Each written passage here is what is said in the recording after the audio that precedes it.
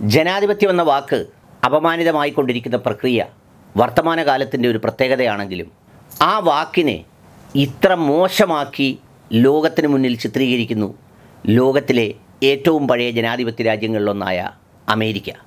ഒരു ഭരണാധികാരി അധികാരത്തിന്റെ സുഖങ്ങളൊക്കെ ആസ്വദിച്ച ശേഷം അന്ധമായി താൻ തുടരുമെന്ന് വിശ്വസിക്കുകയും എന്നാൽ ജനാധിപത്യ പ്രക്രിയയിൽ പരാജയപ്പെട്ടപ്പോൾ ആ പരാജയം അംഗീകരിക്കാതെ സ്വന്തം രാജ്യത്തെ ജനങ്ങളെ പ്രക്ഷോഭത്തിന് ആഹ്വാനം ചെയ്ത് കഴിഞ്ഞ ദിവസം ക്യാപിറ്റോൾ മന്ദിരത്തിലേക്ക് പ്രക്ഷോഭകാരികൾ കടന്നു കയറുകയും വെടിവെപ്പിൽ ഒരാൾ മരിക്കുകയും ചെയ്തു.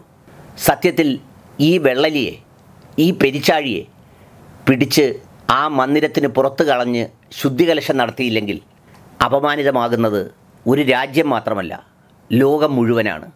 പരാജയം അംഗീകരിക്കാത്ത ഭ്രാന്ത് മൂത്ത് അധികാരത്തിനോടുള്ള ആർത്തിമൂത്ത് ഒരു മനുഷ്യൻ കാണിച്ചു കൂട്ടുന്ന തോന്നിയാസങ്ങളുടെ പരിധികൾ വിട്ടുകഴിഞ്ഞപ്പോൾ ഇന്ന് അമേരിക്കയിലും മറ്റ് ലോകരാജ്യങ്ങളാകെയും ട്രംപ് എന്ന അമേരിക്കയുടെ ഒരു കാലത്തെ പ്രസിഡന്റായിരുന്ന ഈ പറഞ്ഞതുപോലെ ലോകത്ത് എത്രയോ തോന്നിയാസങ്ങൾക്ക് രഹസ്യമായും പരസ്യമായും നേതൃത്വം നൽകിയ ഒരാളിന്റെ തനിനിറം വെളിച്ചത്താവുകയാണ്. സ്വന്തം ജനതയോട് പോലും താല്പര്യമില്ലാത്ത ഈ തോന്നിയാസിയെക്കുറിച്ചാണ് നിഷ്പക്ഷം നിലപാടിൽ എനിക്ക് പറയാനുള്ളത്.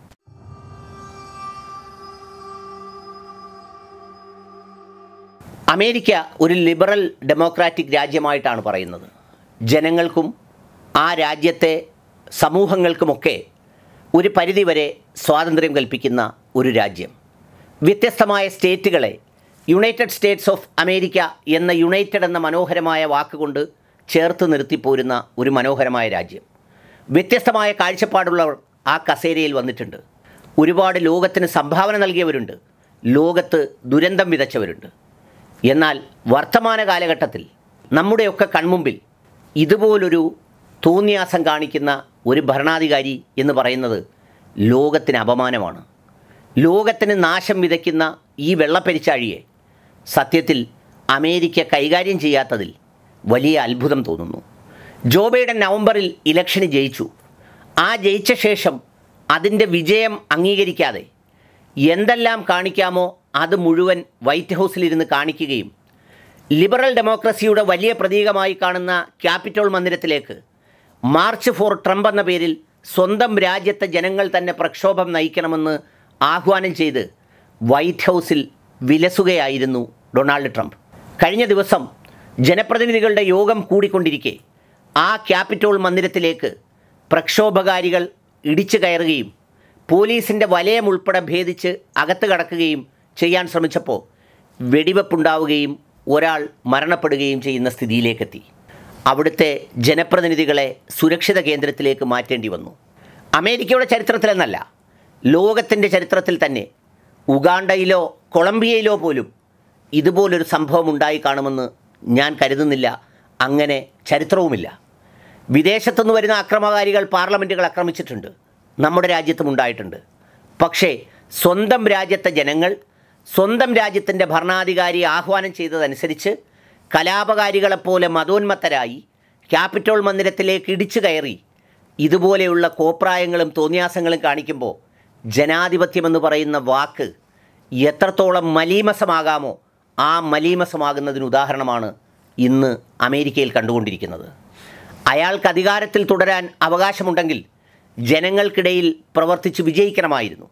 ഇനി അതല്ല ഇനിയും ആ അധികാരഭ്രാന്തിനോട് ഇഷ്ടമുണ്ടെങ്കിൽ ഇനിയും മത്സരിക്കാൻ ഒരവസരം കൂടിയുണ്ട്. മാന്യമായി അവസാനിപ്പിക്കുക മാന്യമായി യാത്ര പറയുക മാന്യമായി ഒരിടത്തു നിന്ന് വിരമിക്കുക എന്നൊക്കെയുള്ളത് പൈതൃക ഗുണവും വർഗഗുണവും ഒരു മനുഷ്യന്റെ പൊതുബോധവുമാണ് കാണിക്കുന്നത്. എന്നാൽ അതിന് വിപരീതമായി യഥാർത്ഥത്തിൽ ലോക പ്രസിഡന്റല്ല മറിച്ച് ലോകത്തെമ്മാടിയായിരുന്നു താനെന്ന് ലോകത്തിനെ ബോധ്യപ്പെടുത്തും വിധം അമേരിക്കയുടെ ട്രംപ് പെരുമാറുകയാണ്.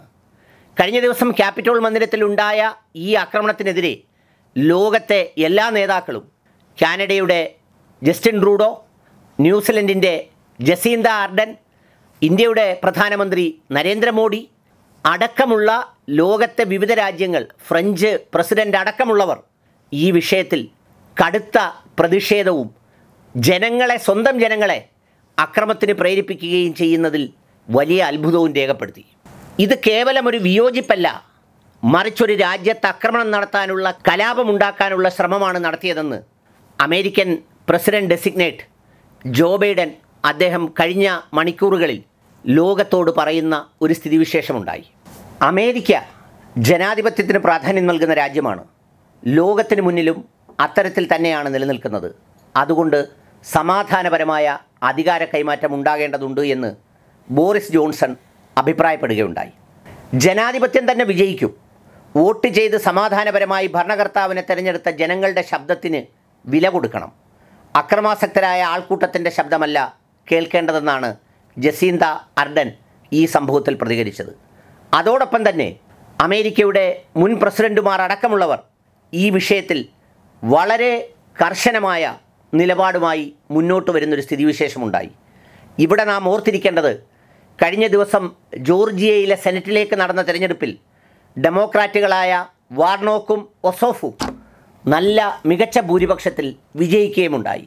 അവിടെ റിപ്പബ്ലിക്കൻ പാർട്ടി സെനറ്റർമാരെ വിജയിപ്പിക്കുന്നതിന് വേണ്ടി എല്ലാ തരത്തിലുള്ള ആഹ്വാനങ്ങൾ നടത്തിയെങ്കിലും ജോർജിയ അത് തള്ളിക്കളഞ്ഞു എന്നാണ് കാണിക്കുന്നത്. പതിനോരായിരത്തി എഴുന്നൂറ്റി എൺപത് വോട്ടിന് ക്രമക്കേട് നടത്താൻ ഇലക്ഷൻ പ്രക്രിയയിൽ ഇടപെട്ട ഉദ്യോഗസ്ഥനോട് യാചിക്കുന്ന ഒരു അമേരിക്കൻ പ്രസിഡന്റ്. അധികാരം മുഴുവൻ നഷ്ടപ്പെട്ടിട്ടും ഭ്രാന്ത് പിടിച്ച വെള്ളപ്പെരിച്ചാഴിയെപ്പോലെ വൈറ്റ് ഹൗസിനകത്ത് നിന്നുകൊണ്ട് ലോകത്തേക്ക് മാലിന്യം വിസർജിക്കുന്ന യഥാർത്ഥത്തിൽ ഇതുപോലെയുള്ള സാമൂഹ്യ ദ്രോഹികളെ കൈകാര്യം ചെയ്യാൻ അമേരിക്കൻ ജനാധിപത്യം വളർന്നില്ല എന്നുള്ളത് ഏറ്റവും പ്രധാനപ്പെട്ട കാര്യമാണ്. പോളിഷ് വിദേശകാര്യമന്ത്രി പറഞ്ഞത് അമേരിക്കൻ ഭരണഘടനയുടെ ഇരുപത്തിമൂന്നാം അനുച്ഛേദം ഉപയോഗിച്ചുകൊണ്ട് അവിടുത്തെ സെനറ്റും കോൺഗ്രസും കൂടി ഇയാളുടെ മുഴുവൻ അധികാരങ്ങൾ റദ്ദാക്കി. യവനെ ഒരു യുദ്ധ തടവുകാരനെ പോലെ കൈകാര്യം ചെയ്യണമെന്നാണ് ആവശ്യപ്പെട്ടത്. അമേരിക്കയുടെ മുൻ പ്രസിഡന്റിനെ. നിങ്ങൾ ഓർക്കേണ്ടത് ഒരു മനുഷ്യന് അധികാരക്കൊതി വന്നാൽ എന്താണ് സംഭവിക്കുക എന്നുള്ളതാണ്. ഇതുപോലൊരു അധികാര കൊതിയനെയാണ് ഇതുപോലൊരു പെരിച്ചാഴിയെയാണ് ഈ ലോകത്തിന്റെ സമാധാനം സൃഷ്ടിക്കുന്നതിന് വേണ്ടി പല രാജ്യങ്ങൾ ആശ്രയിച്ചതും പല രാജ്യങ്ങളും മുട്ടിലഴിഞ്ഞതും നമ്മുടെ രാജ്യം പോലും കെട്ടുകുതിരയെപ്പോലെ ഒരുക്കി ആനയിച്ച് ഇവിടെ കൊണ്ടുവന്ന് യഥാർത്ഥത്തിൽ കോലം കെട്ടിച്ച് മഹാത്മാഗാന്ധിജിയുടെ ആശ്രമത്തിൽ വരെ കൊണ്ടുപോയി വലിയ പ്രാധാന്യം കൊടുത്തത് എന്ന് ഓർക്കുമ്പോൾ ഈ രാജ്യത്തെ പൗരൻ എന്നുള്ള നിലയിൽ ലജ്ജിക്കുന്നു. ഏതായാലും കരുത്തോടെ നിർഭയമായി അഭിപ്രായം പറയുന്ന അമേരിക്ക ഉണരേണ്ടിയിരിക്കുന്നു ലോകം ഉണരേണ്ടിയിരിക്കുന്നു.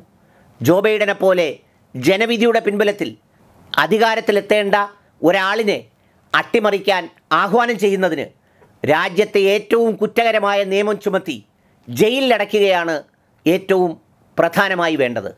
അത് ലോകത്ത് പലർക്കും ഒരു പാഠമാകുമെന്ന് തന്നെയാണ് എന്റെ വിശ്വാസം.